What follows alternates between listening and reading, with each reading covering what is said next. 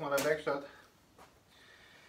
Heute um 11 habe ich ein Riesenpaket bekommen und sie war da, meine neue Hobelmaschine, die von der Firma Holzmann, Holzmann HOB 305 Pro. Seit 11 Uhr, wir haben es jetzt, halb acht bin ich mit dem Ding beschäftigt. Das jetzt positiv oder negativ zu werten ist, sei dahingestellt. Sie kam super verpackt, also in einem riesen Holzkarton, äh, Holzkarton, ja, aus einem Holzkasten super verpackt. Es war alles äh, vor Verwackelung und es war also gut transportgesichert, sagen wir so. Ja, und ich habe bis jetzt gerade eben äh, zusammengebaut, eingestellt, nochmal eingestellt, meinen Nachbarn dazu gerufen und nochmal eingestellt. Also es, sie ist so gut wie fertig vormontiert. Das Einzige, was man dran machen muss, ist der Anschlag. Äh, der Anschlag muss dran, die Absaughauben muss man anschrauben und bei Bedarf, wenn man sie gekauft hat, äh, die Langlochbohrvorrichtung, die ich habe, also muss ich mich damit auch beschäftigen. Vielleicht hat es so lange gedauert. Und jetzt möchte ich euch gerne ein bisschen was über die Maschine zeigen. Ich habe auch schon mit ihr kurz gearbeitet. Ich habe mein Stück abgerichtet und ein bisschen gehobelt. Es ist ein super Hobelbild, zeige ich euch. Was schwierig war, die ganzen Oberflächen waren mit einem, ja ich möchte nicht, ich schätze mal Anti-Rost oder irgendwas war da drauf. Eine richtig dicke Schicht. Die runterzukriegen war gar nicht so einfach. Mit meinem Holzgleit ging das ohne Probleme, konnte ich einsprühen, abwischen. Als erstes habe ich erst mit Terpentin versucht, nichts zu machen. Das pickt und klebt wie Scheiße, wie Honig. Aber mit meinem Holzkleid ging das dann gut ab, Gott sei Dank. Ja, da steht sie jetzt, ihr könnt sie noch nicht sehen, aber ich persönlich bin begeistert bis jetzt, was ich so äh, sehe und ausprobiert habe. Es hat auch negative Momente gegeben, wo ich gedacht habe, ich könnte die ganze Scheiße so an die Wand hauen und zurück nach Österreich. Aber ist alles gut gegangen. Ja, nicht lange drum herum reden, ich zeige sie euch. Ich werde euch meine Eindrücke schildern. Ich werde euch zeigen, was nicht gut gelaufen ist und was eigentlich von Anhieb sehr gut war. Ich stelle euch mal rum. Es hieß ja, dass Holzmann, ja, wie soll ich sagen, so eine hm, No-Name-Firma ist. Ja? Das kann gut sein, aber was heute gekommen ist, in dem Vergleich von den ganzen Maschinen, die ich hatte oder kannte aus großen Tischlereien, ist sie wirklich nicht schlecht. Man kann nicht sagen, dass sie schlecht. Viele Grundeinstellungen muss man vornehmen, also es kommt nicht alles picobello eingestellt. Das Einzige, was wirklich optimal sehr gut eingestellt ist, ist das Messer. Also die vier Messer, wir haben vier Messer in der Welle, die sind perfekt eingestellt, auch mit dem Abgabetisch alles perfekt. Äh, Annahmetisch, das stimmte. Also das war vom Werk schon sehr gut eingestellt.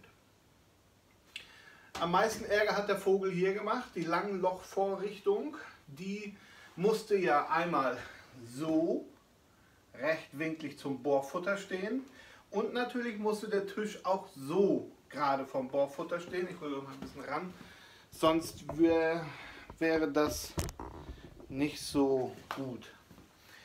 Ja, der Bohrtisch selber, sehr stabiles, robustes Stück, wiegt 30 Kilo alleine. Ich glaube 25 Paket, also das Paket wog 30, aber nur der Tisch 25 Kilo. Es ist kein Guss, es ist richtig was Stabiles.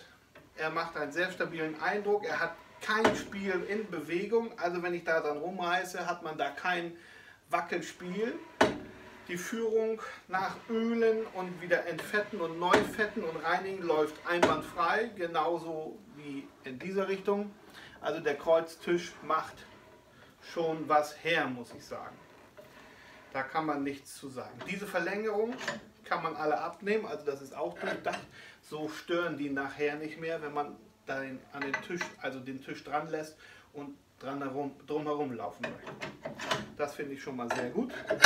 Dasselbe ist auch mit dem Höhenrad. Also wenn ich den Tisch rauf und runter drehe, kann ich das Rad entfernen und ist somit aus meinem Arbeitsbereich weg. Also ich kann es wirklich minimieren, so dass nur noch der nackte Tisch nachher da hängt. Zusätzlich kann ich hier, was auch einen sehr stabilen und sehr guten Eindruck macht, das Festklemmenmodul möchte ich es nennen, zum Holz festklemmen. Ist auch sehr robust. Ja. Auch den Stab kann ich hier rausdrehen. Somit habe ich diese ganzen überstehenden Metallstücke, die über die Fläche stehen, kann ich also entfernen und wenn ich sie brauche, wieder dran schrauben. Ja, das fand ich schon mal sehr gut. So habe ich hier eine freie Fläche, habe wenig, was drüber hinaus steht. Es ist auch alles sehr leicht, sehr schnell wieder montiert. Es ist alles wirklich voll, also da ist nichts Hohles, das ist wirklich Metall, möchte ich sagen, mit dem Gewinde dran. Hier ein gusseisernes Klemmteil und auch das macht noch einen stabilen Eindruck. Ich kann auch nicht sagen, wie lange das hält. Vielleicht, wenn ich drei, vier Mal ein Stück richtig einspanne, bricht da irgendwas weg, aber ich glaube nicht. Auch das macht einen sehr guten, robusten Eindruck. Also bis jetzt kann ich an dem Langlochbohrer oder Vorrichtung nichts Negatives sagen. Man kann ihn wirklich mit diesen beiden Rädern halt auch von dem ganzen Bohrmechanismus blockieren und einstellen, dass man wirklich sagen kann, wie weit er bohren soll. Das geht perfekt. Alles gut. Genauso wie in der Tiefe. Und weiter kann ich ihn hier mit dem Rad halt dementsprechend Tiefen blockieren und ihm sagen, wie weit er äh, bohren soll. Das macht alles einen sehr robusten Eindruck. Ich zeige euch das nochmal von vorne, von oben drauf könnt ihr es nochmal sehen. Hier sind also die beiden Führungsschienen, habe ich frisch eingefettet. Dann geht es nach da drüben. Da unten ist das Rad für oder die Welle, um die Höhe zu regulieren. Hier vernünftig fixiert mit Abstandshalter, so dass man es auch noch einstellen kann. Das ging sehr gut. Habe mir da zwar mein Nachbar dazu geholt, weil das Ding halt auch schon 30 Kilo wiegt. Oder 25 besser gesagt. Von daher macht einen sehr robusten Eindruck. Das ist schon mal positiv, finde ich, weil das sehr schön. Hier vorne eine Anlegekante ist vorhanden. Ich kann wirklich da anlegen und dann halt bohren. Ja, kommen wir zum Bohrfutter. Bei dem Bohrfutter war das erste Mal, wo ich sagte, da stimmt was nicht, da ruft bei Holzmann an. Habe ich Kontakt mit Firma Holzmann aufgenommen. Ich zeige euch das. So. Dafür muss ich eben was abschrauben, weil ich da noch was dran verändert habe. Ich werde euch gleich erzählen, warum. Das Bohrfutter befindet sich oder befand sich nicht hinter dieser Kappe, also es war noch nicht vormontiert. Ich hole euch ein bisschen ran. weil wie gesagt, das ist ein Zusatzteil, was man kaufen kann und wird bei der nackten Maschine nicht mitgeliefert, nur wenn man sich den Tisch dazu bestellt. Ja.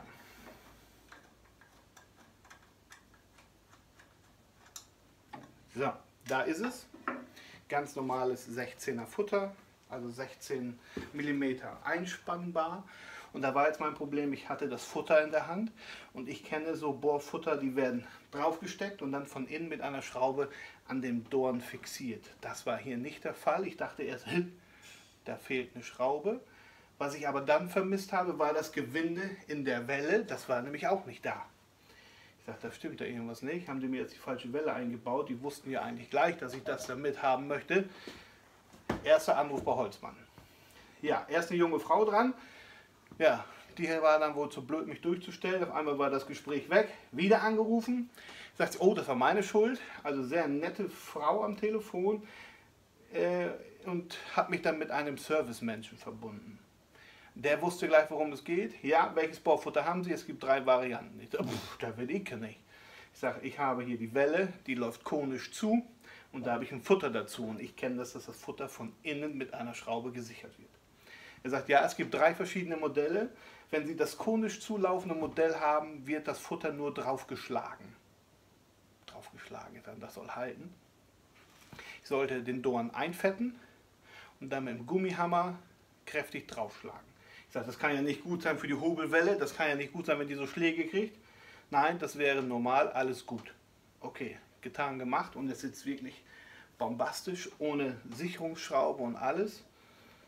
Ja, und somit ist das Futter drauf. Das Futter soll eigentlich so frei hier hängen. Ja? Das finde ich, das ist wieder ein Negativpunkt an dieser Maschine. Wenn ich gleich umbauen, hobeln möchte, da, auf der Seite könnt ihr sehen, ist der An- und Ausknopf. An und aus. Wenn ich jetzt beim Hobeln ein Problem habe und schnell die Maschine ausschalten muss und den Langlochbohrvorrichtung da habe, dreht sich das Ding ja mit. Die Gefahr ist also sehr groß, dass ich da mit einem Plover hängen bleibe oder wenn ich was Langärmliches anhabe. Ja. Das war erster negativer Punkt. Ich sage, das geht so ja gar nicht. Ja, und da habe ich gesagt, das ist schon mal scheiße. Da sagte der von Holzmann, dafür haben sie ja die Schutzkappe. Er meint dieses Ding, was ich gerade abgeschraubt habe. Man kann bloß, wenn man die Kappe draufschraubt und abschraubt, an das Futter nicht ran. Das heißt, ich muss jedes Mal diese pimmeligen Schrauben rausdrehen da, die sicherlich dafür auch nicht gemacht sind, 500 Mal rein und raus gedreht zu werden. Habe ich mir was anderes überlegt und das war die erste Änderung an dieser Maschine, die ich gemacht habe. Ich habe mir danach da oben ein Loch eingebohrt. Aus die Maus. Ich will nicht dauernd diesen Schutz abbauen. Dann kennt man das, oh Gott, ich muss eben schnell was bohren und dann, oh, ich muss noch schnell die Seite abrichten und zack, richtet man ab ohne diesen Schutz und greift dann genau in dem Moment zum Knopf und sitzt mit dem Ärmel im Futter. Das wollte ich nicht riskieren. Darum habe ich da ein Loch eingebohrt, so dass ich jetzt, wo ist er, mit dem Schlüssel da durch kann und kann also ohne die Kappe abnehmen zu müssen das Futter bedienen. Das war mir eigentlich schon recht wichtig. So kannte ich das von anderen Maschinen, dass die Kappe um das Futter sitzt und mit einem Loch man die Möglichkeit hat, das Futter zu bedienen. Das fehlte hier oder es war nicht da, ich weiß es nicht. Jetzt habe ich es nachträglich reingebohrt. Das habe ich einfach zu meiner Sicherheit gemacht. Denn wenn hier ein Bohrfutter sich dreht, ich mache es mal kurz an. Ja. Ist das glaube ich nicht so schön, wenn man dann in der Hektik mal zum Knopf drückt und dann mit dem Plover an dem Futter hängen bleibt. Ja. Darum habe ich das Loch da reingeschnitten und jetzt kommt man an das Bohrfutter eigentlich nicht mehr so schnell ran, außer ich stecke jetzt den Finger in das Loch. Aber das wäre ja dann auch ganz schön blöd. Ja, das war das erste negativ wie positiv Erlebnis. Der Mann bei Holzmann hat mir sofort prompt geholfen. Der wusste gleich, worum es geht. Ja, das Futter könnt ihr so draufschlagen, also positiv, auch super nett, nicht genervt oder so. Äh, das fand ich schon mal sehr gut. Also auch der Service sofort zu erreichen. Also ich musste nicht 500 Mal irgendwo anrufen oder mich durchstellen lassen. Das klappte auch. Das war schon mal ein positiver ja, Eindruck von Firma Holzmann, wenn man was von dem Service möchte. Das war gar kein Problem. Ja, jetzt seht ihr, jetzt kommt man dann nicht mehr dran an das drehende Futter. Ich kann es trotzdem von oben halt öffnen und schließen. Und ich glaube, das war ein sinnvolles Loch. Also wenn ihr euch die kauft, bohrt euch da so ein Loch rein. Ja, vielleicht sieht da irgendjemand das von Holzmann und übernimmt das vielleicht. Den Rest der Maschine an. Jetzt fällt schon auf, was auch nicht so gut ist, was ich gerade schon mal so kurz angesprochen habe, hier die Schalter. Wenn man wirklich den langen Loch, die Langloch-Bohrvorrichtung hat, ist das mit dem Ausknopf auch schon schwierig, ja, weil der Tisch davor steht. Da muss man sich schon ein bisschen dran gewöhnen. Zusätzlich muss ich aber auch sagen, auf der Rückseite hier auf der Maschine, könnt ihr jetzt nicht sehen, ist noch ein Notknopf. Also ich kann auch von hier, von dieser Seite die Maschine stoppen. Ein Notknopf bedeutet für mich aber, dass das nicht ein Regelknopf ist, sondern nur in einer Notsituation benutzt werden sollte. Darum möchte ich den nicht äh, nur benutzen, um die Maschine auszuschalten. Ich weiß ja auch nicht, was elektrisch da drin passiert, wenn man den Notknopf drückt. Das ist ein bisschen blöd gemacht, muss ich ehrlich sagen. Wenn man einen Langlochbohrer hat, ist das ein bisschen nervig. Okay, aber ich weiß noch nicht, das ist vielleicht auch nur so eine Gebrauchssituation, wenn man sich daran gewöhnt hat, ist das auch in Ordnung. Weiß ich nicht. Wie gesagt, das hier kann alles abgebaut werden, damit man den ganzen Platz nicht so verbraucht oder Platz hat. Gut, kommen wir zum Abrichter selber. Die Abrichtplatte ist wirklich ein robustes Stück Metall. Äh, da. Ich zeige es euch gleich mal. Also das ist jetzt kein billig Scheiß, möchte ich sagen. Auch wenn die Maschine vielleicht im Ausland gefertigt wird, ist es eine sehr robuste Arbeitsplatte. Ja? Man hört schon, die kann nicht dünn sein, aber ich habe es noch nicht gemessen. Können wir machen. Würde mich mal interessieren. Mal gucken. Was dabei ist. Ja, fall doch runter. So. Und sie ist 14 mm. 14 mm nur die Platte hier. Das ist schon nicht wenig. 14 mm ist das überall so? Ja. ja. Also die Platte, jetzt ohne den Rand, ist 14 mm. Das ist schon nicht wenig. Ja. Also schon nicht schlecht. Hätte ich nicht mit erwartet. Was hat denn hier unser Tisch hier? Kommt nicht da drunter? Ja. Der. Und der ist jetzt nur 10, 10 mm die Fläche von der Dicke, aber 10 mm dickes, ja, es ist das Stahl oder Guss, ist glaube ich schon nicht schlecht. Total am Schwitzen, das ist eine Hitze hier. 34 Grad draußen gehabt heute. Gut. Ja. Warum habe ich mich für diese entschieden und nicht für die 31, sondern für die 30,5? Diese 30,5 hat ein, ein besonderes Angebot von Holzmann, was keine andere so hat. Ich zeige euch was. Und zwar war das für mich wichtig, vielleicht für viele auch wichtig, aus Platzgründen, der Anschlag wird hier vorne geführt.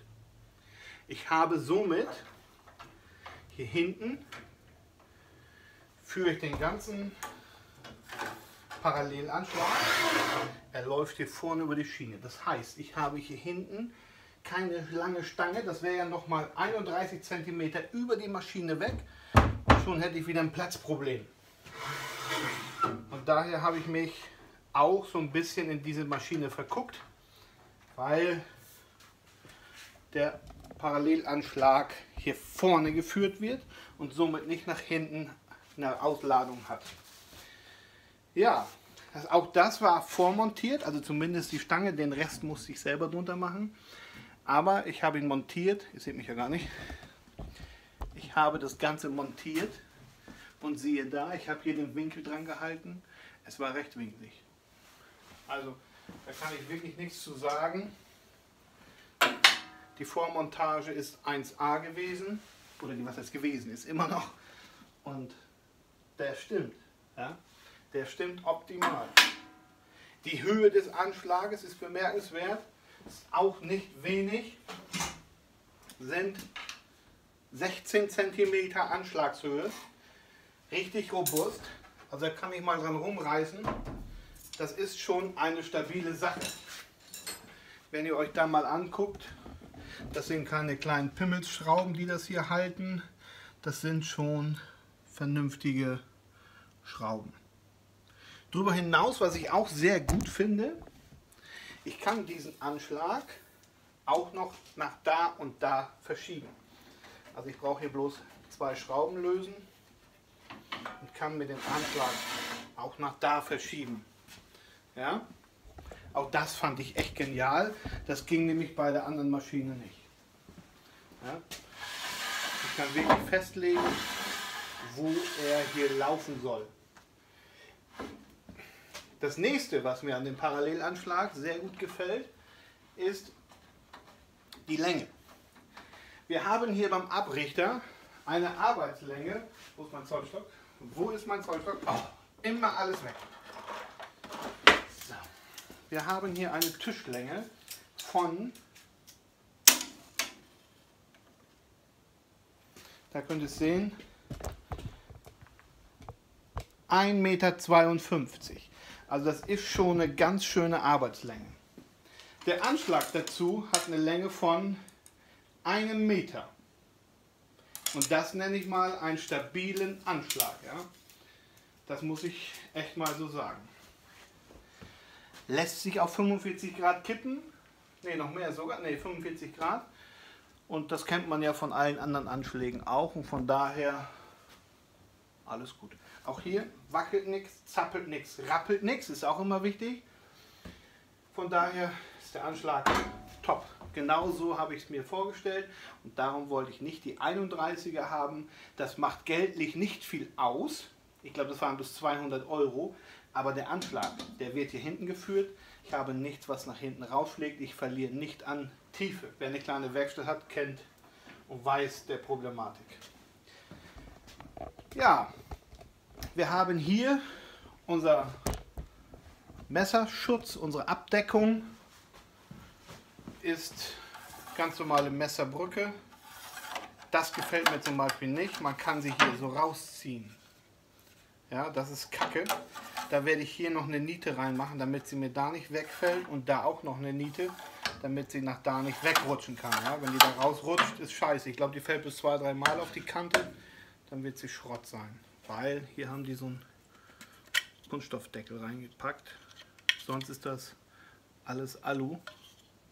Aber ich glaube, wenn der runterfällt, ist der Deckel wahrscheinlich dann kaputt.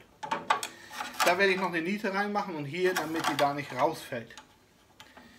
Ja.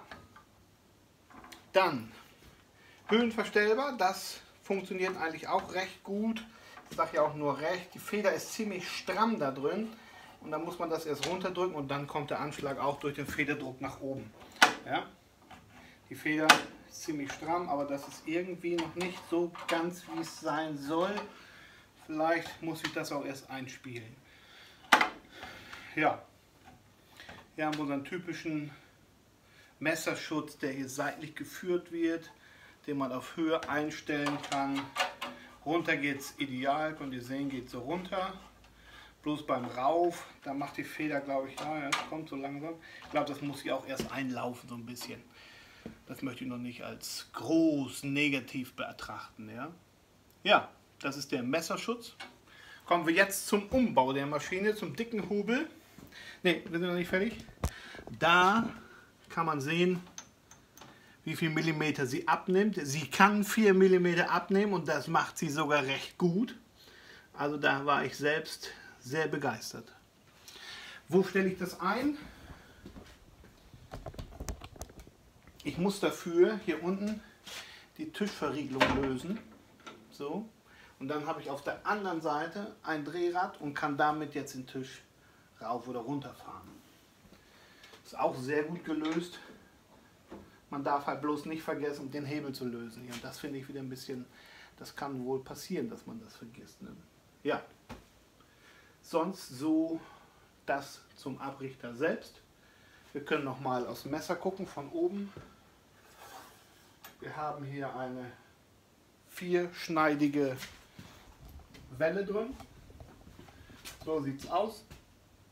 Sind leider keine Einwegmesser. Gibt es für dieses Modell auch nicht. Die habe ich immer sehr geliebt für mein Vorgängermodell. Die waren immer neu. Ich konnte immer dieselbe Einstellung benutzen.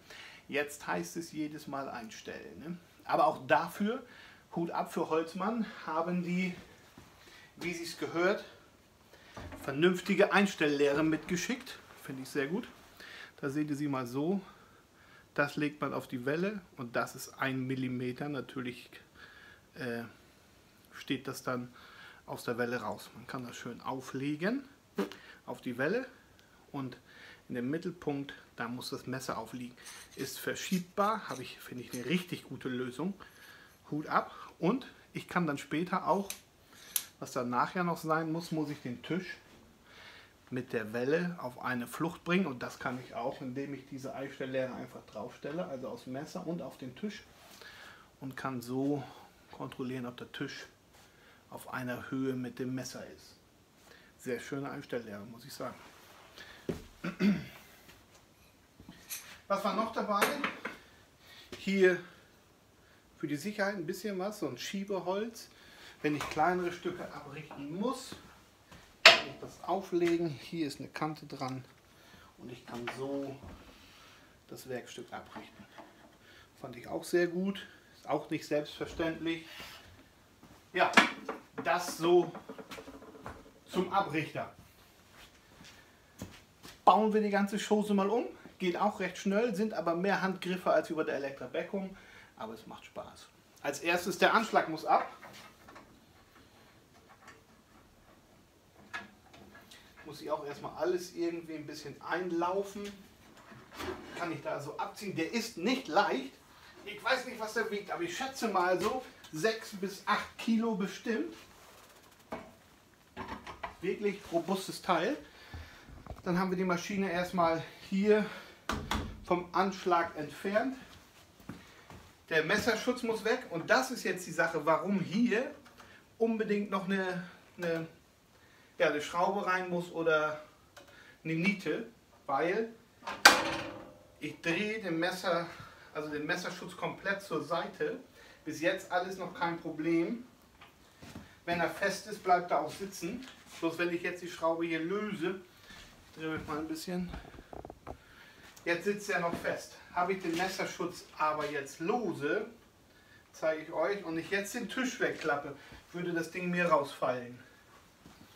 Also ich löse den ersten Tisch, klappe den hoch und spätestens jetzt würde das Ding nach unten sausen, auf den Grund klatschen. Ja, und das macht die Plastikecke, glaube ich, nicht lange mit. Darum muss ich da noch unbedingt zwei Nieten reinmachen. Also das gefällt mir auch noch nicht. Die Platte selbst ist sehr sehr, sehr dick, habe ich ja gesagt, 14 mm habe ich gerade gemessen. Das sieht man hier auch ganz schön, wenn wir mal seitlich drauf gucken, ist das da nicht wenig.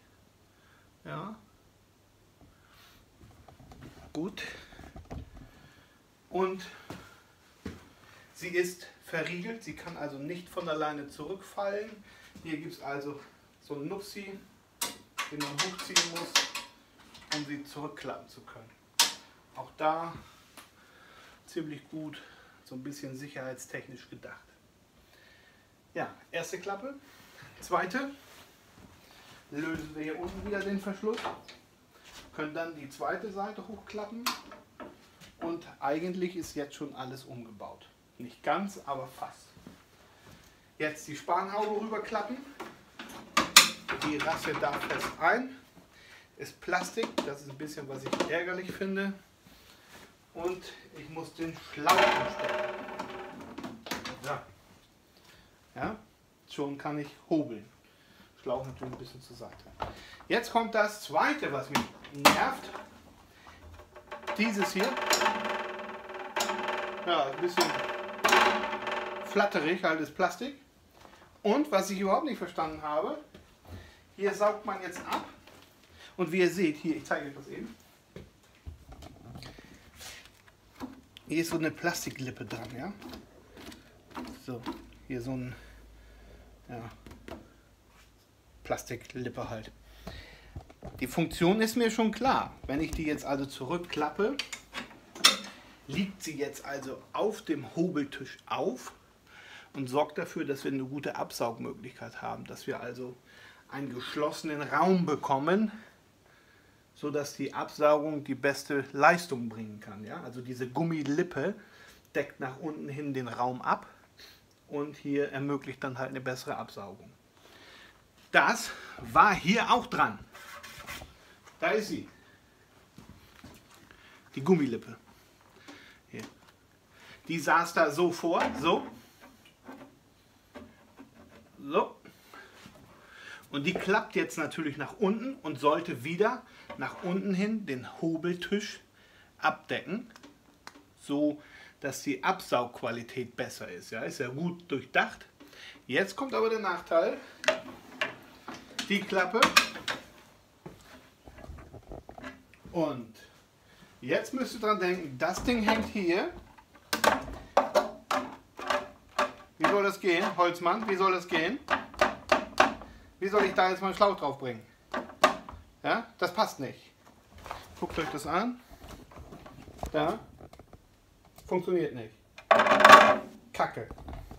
Das ist wieder ein Teil, ja, was nicht sein müsste. Ja, da sollte man noch mal drüber nachdenken, was das dann soll, wenn es sowieso nicht geht.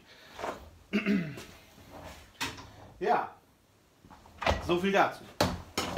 Das fand ich auch ein bisschen ja, ein bisschen negativ aufstoßend. Also machen dieses Ding da dran in der Hoffnung, dass es bessere absaugt. Der Gedanke ist ja wunderbar. Wir können uns das ja mal angucken. Ich zeige es euch gleich mal von der anderen Seite. Ich kurbel mal ganz kurz den Tisch ein bisschen höher. So, jetzt könnt ihr die Funktion der Klappe sehen. Ich nehme auch mal kurz hier mit da, wenn ihr jetzt guckt, da liegt die Klappe. Seht ihr das? Liegt genau da auf, da.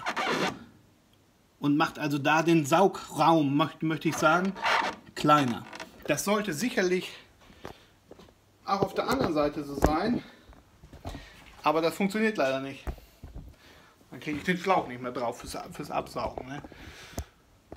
Ja, kein großartiges Problem, glaube ich. Aber es ist halt blöd. Ja. Weil irgendwas haben die sich dabei gedacht, aber nicht irgendwie richtig zu Ende gedacht. Das ist auch so ein Punkt, den ich nicht so gut finde, dieses Plastikding. Aber es scheint sehr stabil zu sein, außer dass es so rappelt. Es rappelt aber nicht, während die Maschine läuft. Das ist ja auch noch es ist auch mit zwei richtig dicken, vernünftigen Schrauben fest.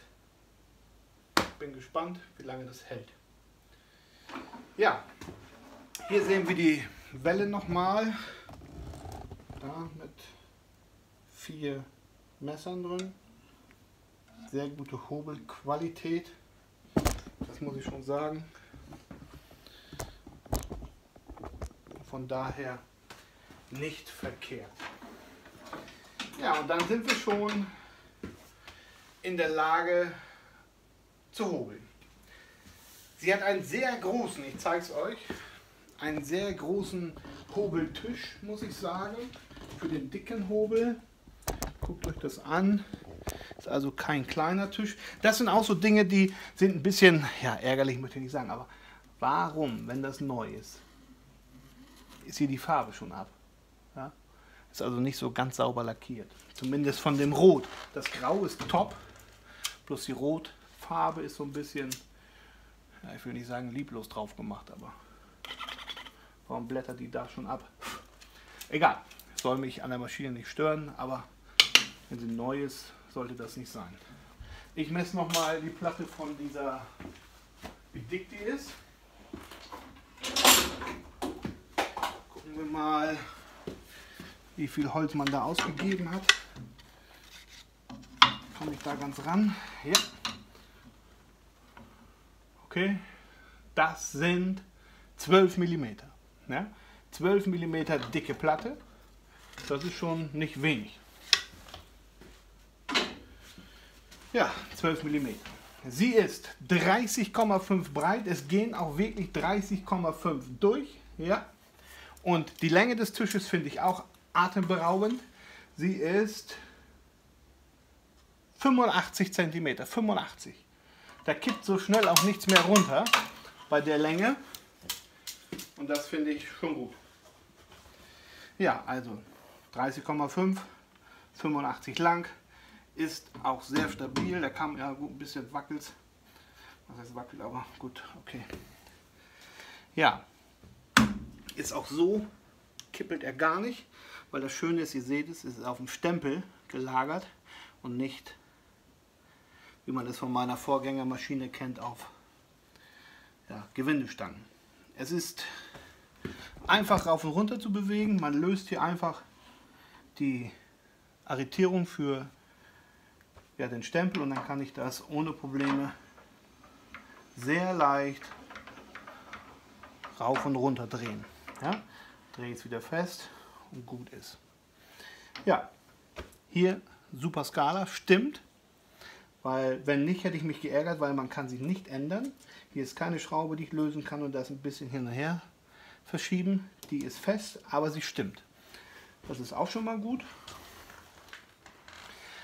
Nächstes Problem, was mich wieder geärgert hat und deswegen habe ich nochmal bei Holzmann angerufen, war dies hier. Ich zeige es euch. Da. Das sieht natürlich hingewurschtelt aus, das habe ich gemacht. Da ist ein Kantenschutz drauf, besser gesagt, mein Nachbar hat das gemacht, weil ich kann hiermit die Einzugswalze und Auszugswalze an- und ausschalten. Ja? Sie läuft einmal mit und einmal läuft sie nicht. Jetzt zeige ich euch warum. Ich nehme mal diesen Kantenschutz nochmal weg. So. Wenn ich jetzt den Hebel nach vorne mache, das heißt, Einzugswalze läuft und ich mache sie jetzt an. Hört euch das an?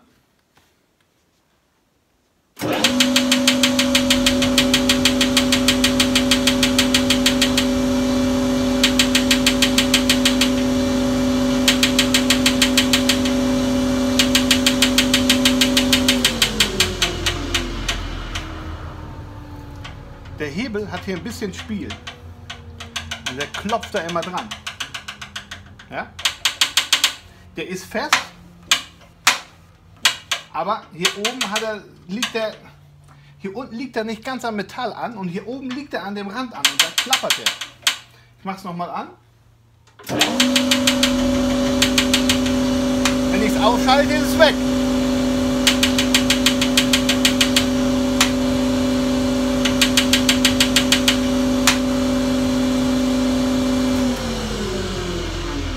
Ja, das ist auch so ein nerviger Punkt.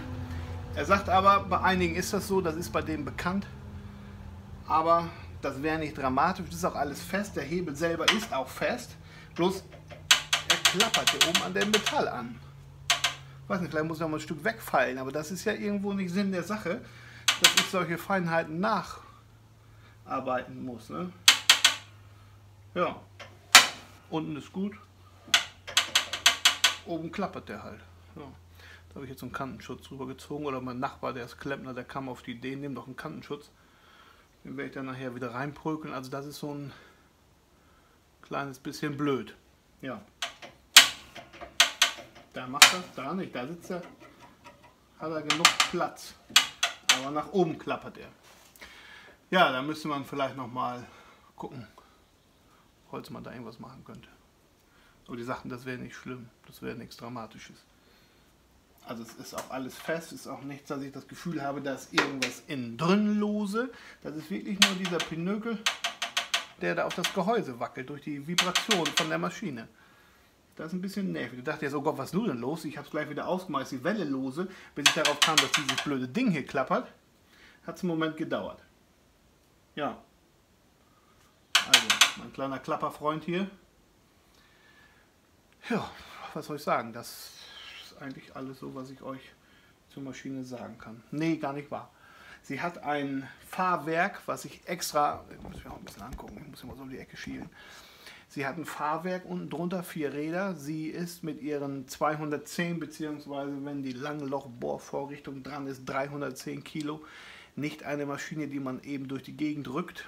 Und Dafür gibt es sie einmal in der Version mit Fahreinheit und einmal ohne. Ich habe sie natürlich mitgenommen wegen meiner kleinen Werkstatt, dass ich auch mal ein bisschen rangieren kann. Auch das funktioniert sehr gut. Ich stelle mal ein bisschen runter. Da könnt ihr sehen. Hier sind zwei Schrauben. Damit blockiere ich die beiden Räder von den Vieren und dann ist sie fest. Wenn ich sie löse, ich kann es mal machen, dann kann ich die Maschine ohne Probleme schieben. Also, dann ist sie super zu handeln. Und das finde ich auch nicht schlecht. Ja, das zu meiner neuen Hobelmaschine. Wie gesagt, Warum habe ich mich jetzt für sie entschieden? Einmal wegen dem Winkel hinten, also wegen diesem Parallelanschlag, weil der nicht nach hinten so einen Arm, so einen Messerschutz dran hat, der hinten mir noch mehr Platz rauben würde. Und der Anschlag halt an der Platte befestigt ist. Was noch seht ihr hier? Diese beiden Abrichtplatten gehen in die Richtung. Guckt mal bei Holzmann, egal bei welcher, der 260er, der kleinen, der 310er, der 4, nee, die 41er ist wieder anders, aber alle so die ja, Maße dazwischen. Die 31, die 32 oder die 41 sogar auch, da klappen diese Platten in diese Richtung. Das heißt, in diese Richtung und in diese Richtung. Obwohl der Langlochbohrer hier ist. Und das hat mich genervt. Dann hätte ich beim Hobeln, hier ist es ja jetzt bequem, hier kann ich stehen, kann hobeln und ich habe keine störenden Platten hier. Hier würden die Platten also hier dann noch in diese Richtung gucken. Wer Interesse hat, guckt euch das an, bevor ihr euch jetzt für eine Holzmann entscheidet, wohin die Platten klappen.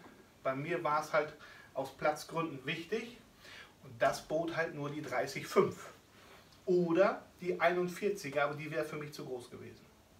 Dann hätte ich hier nicht mehr viel Platz gehabt. Ja, alles was kaputt gehen kann, so wie das hier, dass man mal so einen Zacken abbricht, ist austauschbar. Das sind alle Schrauben, die kann man lösen. Da seht ihr es. Also diese, diese, ja wie soll ich sagen, Verzahnung, wie auch immer, an diesen Platten, die sind dafür da, dass die Maschine nicht so laut ist. Wenn, da, wenn sich also die Welle dreht, kommt es ja zu Verwirbelungen von Luft. Und das ist dann wie so ein Pfeifen. Also wenn ihr Maschinen habt, die das nicht haben, sind die eindeutig lauter als die Maschinen, die diese ja, Verzahnung haben, diese Zahnung. Weil da kommt es nicht zu solchen Pfeifgeräuschen. Darum sind die da drin. Sonst haben die keinen anderen Nährwert. Ja, und da kann auch immer so ein Ding abbrechen weiß zwar nicht wie, aber es soll es ja geben. Und da kann man sie halt austauschen.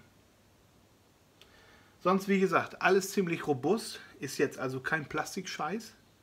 Die Farbe, die in Rot, die Lackierung finde ich jetzt nicht so toll, muss ich sagen. Die ist jetzt nicht so super aufgebracht wie die graue. Die graue ist deutlich besser. Die ist sauber, vernünftig, maschinenschlagtechnisch lackiert.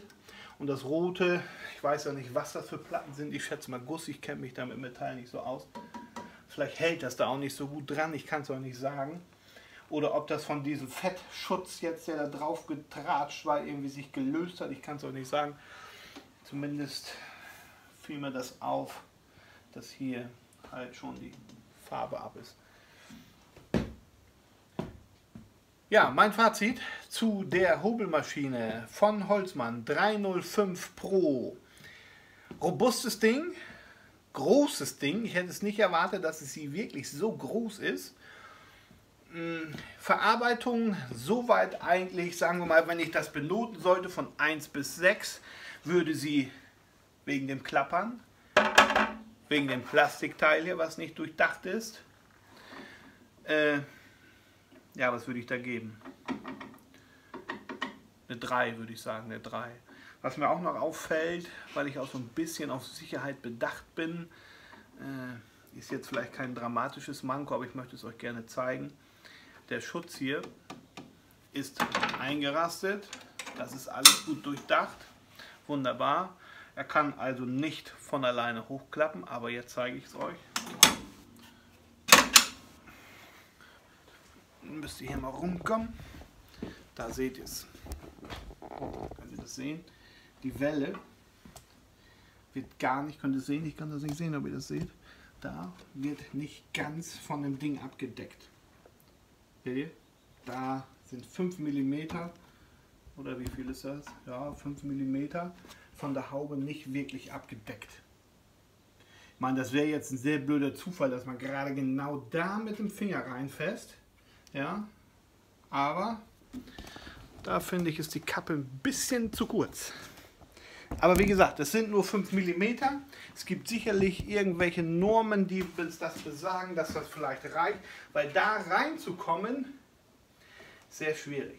Aber wenn ich mir jetzt überlege, ich bin jetzt am Langlochbohrer am Arbeiten, klappe das zur Seite, damit ich hier mehr Platz habe. Und dann vielleicht hier doch noch an dem Futter, ja, kann ich ja auch nicht darum stellen. Ich weiß nicht, ich weiß auch nicht, vielleicht fest man da auch nicht rein, ich kann es auch nicht sagen. Aber das fiel mir auch gleich auf, dass auch auf der Seite ist das auch. Die Haube ist nicht so breit wie die Messerwelle. Ja? Beim Hobeln selber stört das nicht. Und von daher, gut, macht das egal sein, aber ist ein bisschen ungewöhnlich. Vielleicht bin ich da ein bisschen auch ein bisschen verwöhnt mit der Metabo. Ja, verwöhnt kann ich nicht sagen. Ich glaube, jetzt bin ich verwöhnt. Das ist echt eine tolle Maschine. Jetzt wollen wir sie aber mal benutzen. Wollen wir mal ein Stück abrichten und mal ein bisschen hobeln. Mal gucken, wie das Ganze so abläuft, funktioniert. Ich mache hier eben wieder Anti-Klapper dran und dann geht es gleich weiter. Den Kantenschutz wieder dran gemacht, damit es gleich nicht klappert. Und jetzt bauen wir sie nochmal um.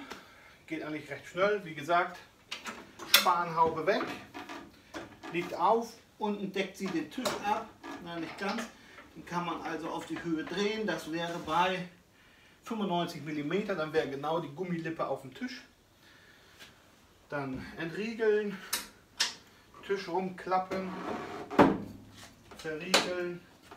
Okay. Anderer Tisch genauso. Die sind schon sehr schwer. Hier noch ein, eine Sache, die mir aufgefallen ist. Muss ich euch zeigen. Da ist die Anzeige, für das wie viele abnimmt. Klappe ich den Tisch hoch und passt jetzt vielleicht nicht so wirklich hier auf. Steht da eine nicht gerade und spitze Spitze raus, möchte ich sagen. Da könnte man sich am Arm verletzen. Ja? Obwohl es ist zwar die Kappe darüber, also die Kappe steht weiter raus, aber wenn man jetzt zufällig hier mal mit dem Arm dran Lack ratscht, glaube ich, hat man da auch ganz schnell eine Macke drin. Okay. Halt, entriegeln, zurückklappen, verriegeln, Anschlag drauf, wo ich wirklich sagen muss, das wäre schon fast, fast zu schwer ist für das dauernd rauf und rauf, rauf und abgereiße. Aber ich wollte es ja so haben, deswegen habe ich sie ja gekauft, um einfach diesen Platzmangel ein bisschen ja, zu sparen oder halt ein bisschen mehr Platz zu haben. Ja, dann noch den Messerschutz.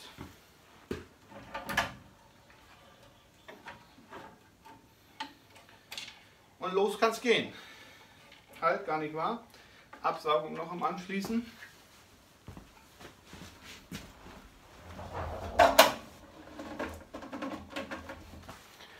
Los geht's. Ich richte einfach mal ein Stück ab und dann gucken wir uns das Ergebnis an.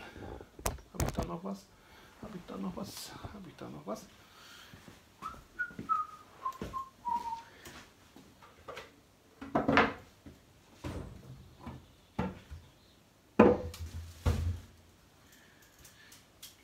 ist das Schätzchen denn? Okay.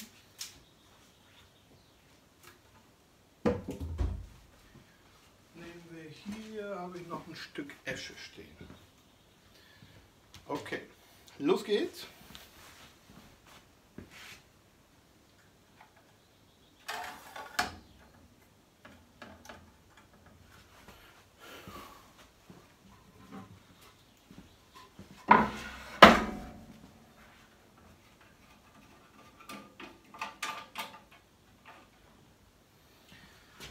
Also es ist schon ein geiles Gefühl, so ein großes, langes Stück Holz ja, komplett auf die Arbeitsfläche legen zu können. Wir haben jetzt hier eine einseitige Tischlänge von 75 cm und das ist schon nicht schlecht. Okay, fangen wir an. Die ist auch sehr leise.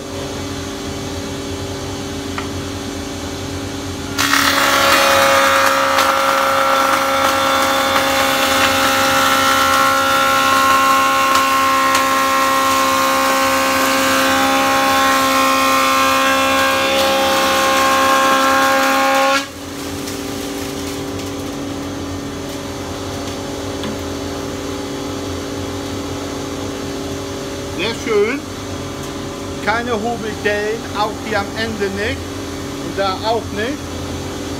Das jetzt bei fast 3 mm.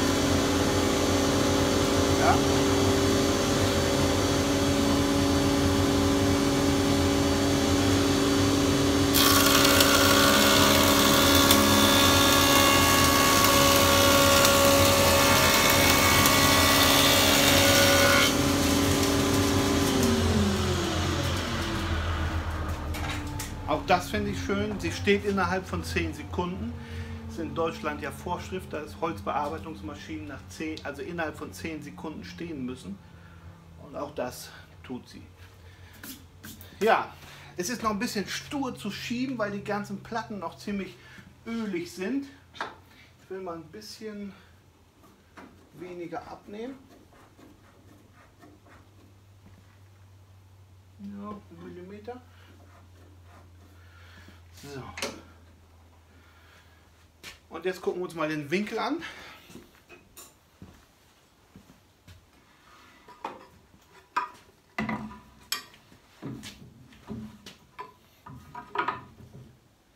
Ja, Leute, ne? perfekt.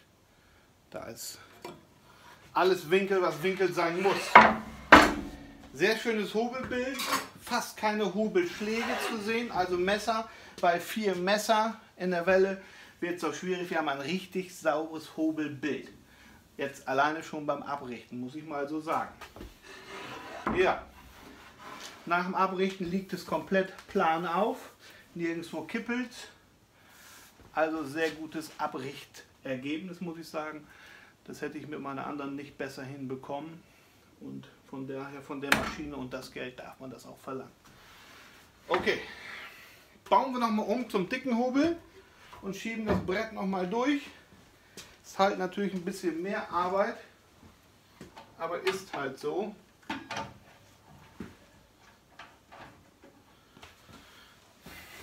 Ja, was soll ich sagen?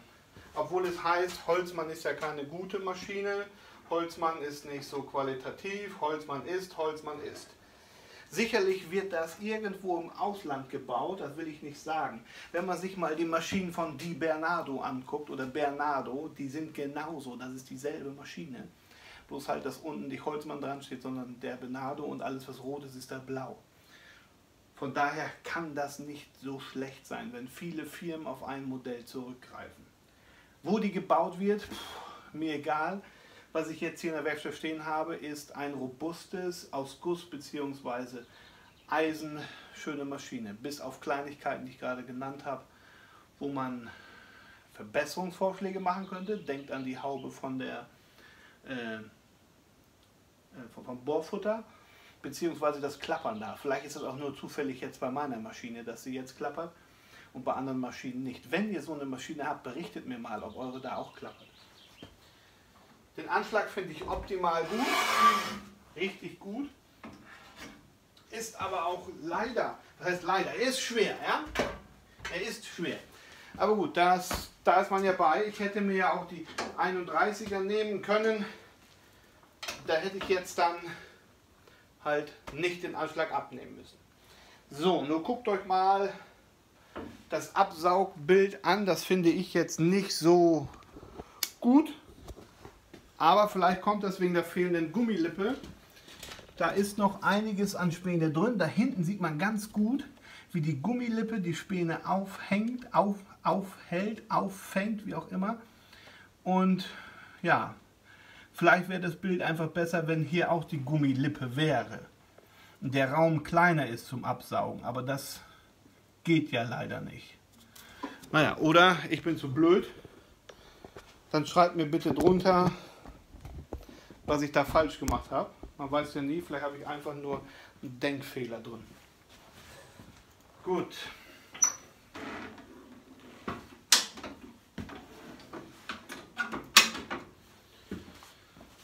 Hier kann man es gut sehen.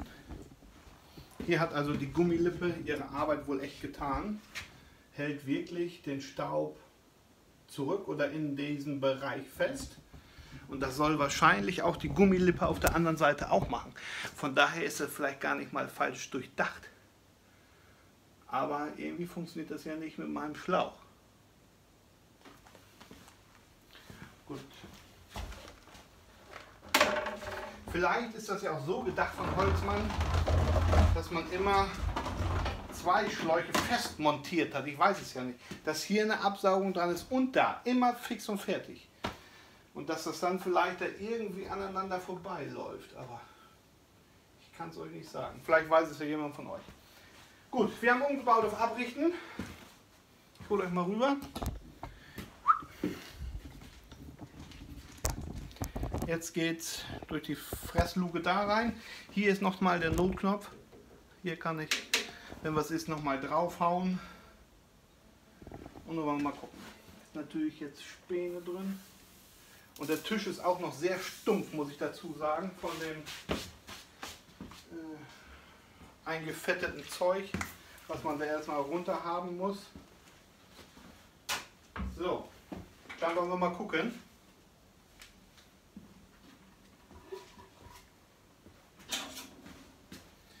Wir haben hier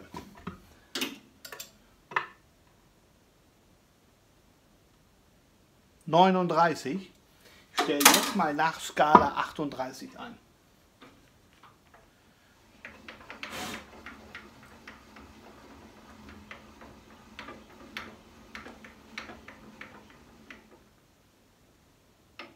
Ja, also 1 mm Abnahme.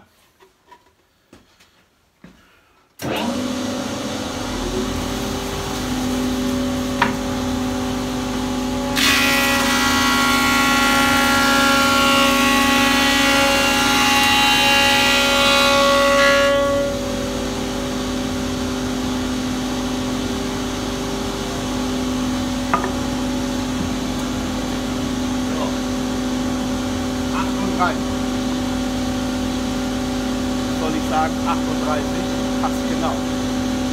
Ihr hört auch, sie ist nicht mal sehr laut, sie ist sehr leise. Und sie zieht zügig gut durch. Ich meine 8 Meter, 8 Meter pro Minute.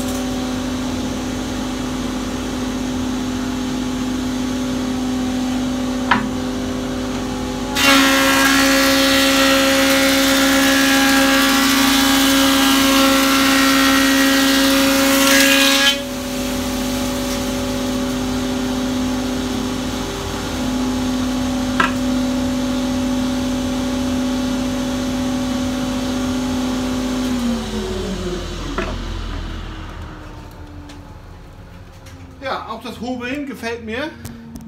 Sehr sauberes Hobelbild. Ja, kann da wirklich nichts zu sagen. Ja, also super Hobelergebnis. Keine Einschläge, ja, Einschläge sei schon. Am Ende und vorne, ihr kennt das, so, hättet ihr aber auch gehört, alles eine ebene Fläche. Hier keine, oh da ein bisschen, Tatsache. Da. Da nicht. Gut, wieder Einstellungssache. Muss ein bisschen dran rumschrauben. Hier ist nämlich gut. Okay. Oh, ich habe nicht aufgepasst hinten am Ende. Ja. Somit, was soll ich sagen? Holzmann bei mir das erste Mal in der Werkstatt, selbst gekauft, nicht gesponsert. Habe mich dafür entschieden, habe gehört warum und ich freue mich schon auf schönes Zusammenarbeiten mit der Maschine. Ich glaube, es wird richtig Spaß machen. Sie hat einen schönen, großen, breiten Tisch und sie ist wirklich robust und stabil. Sieht sehr gut aus, muss ich sagen. Und ich glaube, da werde ich noch meine Freude dran haben. Ja, wie gesagt, ist alles ein bisschen Einstellerei. Um 11 ist sie gekommen, um halb acht war ich fertig mit allem. Und das ist schon nicht wenig. Oh, oh, ein bisschen höher. Das ist schon eine Menge an Zeit, die man da investieren muss, damit das ganze Ding vernünftig läuft. Ich habe euch alles gezeigt, was man abschrauben kann, draufschrauben kann. Habe ich gemacht. Ja. Ich zeige euch noch mal ganz kurz.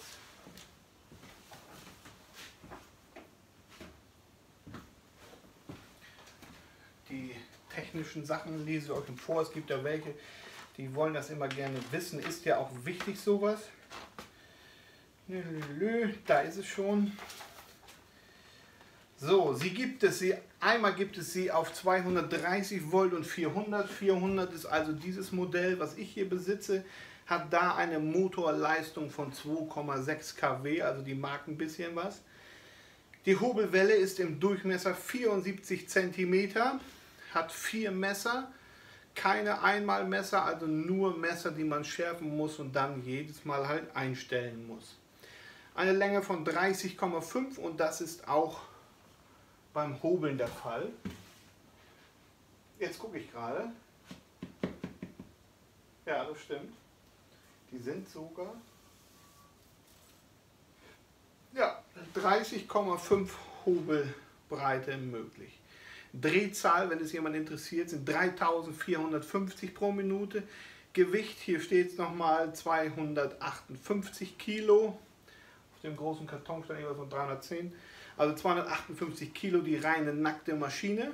Sie ist sehr leise, finde ich. Sie hat 93 Dezibel. Ja, das kommt darauf an, ob man hobelt oder abrichtet, sehe ich hier gerade. Also 93 Dezibel beim Hobeln und 87,3 beim Abrichten. Tischgröße habe ich gesagt, ist 1,52 Meter mal 35, weil da sind ja noch so zwei Ecken drin. Also man hat einen ziemlich breiten Tisch, finde ich sehr gut. Die Tischhöhe selber ist bei 90,1, also sie ist ziemlich hoch, kommt aber auch durch die Räder. Die Räder sind auch noch so ein Stück an Höhe, was dazu kommt. Maximale Hobelbreite habe ich gesagt, 30,5. Der Winkelanschlag ist dafür 1,10 Meter lang. Das ist top. Ja, schwenkbar in den Bereichen von 90 bis 45. Maximale Spanabnahme beim Abrichten 4 mm. Dicken Hobel den Tisch habe ich gezeigt, 85 cm, das ist schon ein ganzes Stück. 85 cm, Breite 30, nee gar nicht mal 32, da kommt der rechts und links dieser Falz, dieser, so dass wir komplett 30,5 haben. Das kleinste, was er abrichten kann, also das dünnste Werkstück sind 3 mm, das ist schon nicht schlecht.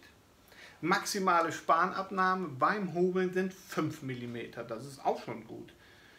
Ja, Vorschubgeschwindigkeit, hier haben wir es 6,7 Meter pro Minute und der Absaugstutzen ist 100 Millimeter. Ja, Langlochbohrvorrichtung, hier nochmal, ich habe sie darum erwähne ich das nochmal, Tischgröße ist 37 mal, ja, das passt aber nicht, das passt aber nicht, das passt aber nicht, das passt aber nicht. Hier steht was von 150 mm und meine Tischbreite ist jetzt schon bei 230 und die Länge doch, die Länge, ne, ist auch länger. Hier steht es eine Länge von 36,5 und mein Tisch, den ich hier habe, ist genau 40 cm. Okay, die Maße stimmen also nicht. Maximale Bohrweite steht hier 140 drin und Höhenverstellung 75 mm. Ja, das stimmt aber alles nicht, das ist viel mehr. Dann ist das vielleicht ein anderen Tisch, den sie mir zugeschickt haben oder so, ich weiß es nicht aber ich kann hier mehr als 75 mm rauf und runter drehen. Er ist auch schon größer, als wie es in der Anleitung steht. Ja, was soll ich sagen? Die üblichen Bestimmungen, die hier alle drin stehen, ja, was nicht tun und wenn wohl, dann dies und na, Stecker rausziehen bei Arbeiten am Messer und und und. Kennen wir. Ja. ja. Ich muss nicht wundern, Werbevideo oben in die Ecke schreiben, weil ich jetzt über 90 Sekunden über ein Produkt gesprochen habe. Ich werbe hier nicht für Holzmann, ich werbe für die Maschine, ist zwar quasi für Holzmann, aber nicht irgendwie im Namen für Holzmann, das mache ich für mich, um meine Maschine euch vorzustellen und sie hat halt einen Namen und den muss ich halt nennen. Ja? Also nicht wundern, wenn da irgendwo Werbevideo steht. Es kommt nicht gesponsert von Holzmann, ich habe sie selbst für mich voll bezahlt und also kein Sponsoring von Holzmann. Ja, das dazu. Wie gesagt, von einer Note von 1 bis 6 wird sie jetzt bei mir eine 2,5 kriegen hinsichtlich diesen ganzen Macken. Aber das Hobelbild hat mich überzeugt, dass sie so schön leise ist, hat mich überzeugt. Der Tisch dazu hat mich sehr äh, sehr überzeugt, der wirklich robust ist und da nicht irgendwie so ein billiger Wackelkram davor geschraubt wird. Ja, das, was mich nicht überzeugt hat, habt ihr gesehen, ist dieses Klapperding da. Vielleicht ist auch nur bei meinem Gerät zufällig so. Und die Ein- und Ausschaltknöpfe in Verbindung mit dem Bohrfutter, wo man sich leicht dran verletzen kann. Ja? Da müsste man vielleicht nochmal dran arbeiten. Und diese Gummilippe. Vielleicht weiß ja jemand, wie das funktioniert. Vielleicht bin ich auch wieder nur zu blöd, das Ding da dran zu schrauben.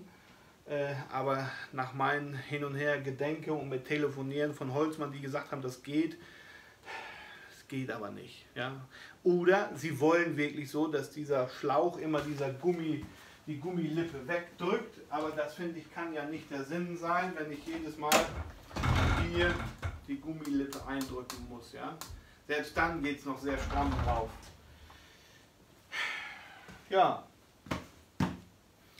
ich freue mich mit dem Ding zu arbeiten. Leider habe ich meine Treppe schon fertig und die nächste kommt erst in zwei, drei Monaten. Die ist schon in Planung, aber das dauert noch erst nach dem Urlaub. Also so richtiges schönes Stück Holz werde ich wohl erst wieder in ein, zwei Monaten hobeln. Ja. Den Langlochbohrer bin ich gespannt. Fräse habe ich mir bestellt. Die habe ich ja alles noch nicht gehabt. Boah, ich schwitze, ist das eine Hitze drin. Ähm, mal ein paar Zapfen fräsen, das geht da ja alles mit. Da bin ich gespannt, da werdet ihr dabei sein und ja, was soll ich sagen? Das war's. Ende im Gelände, aus die Maus, abschalten nicht vergessen. HOB 305 Pro von Holzmann. Für mich eine Note von 2,5 mit Kleinigkeiten, die verbesserungswürdig sind. Und ja, wie gesagt, nicht vergessen, abschalten. Tschüss, bis zum nächsten Mal.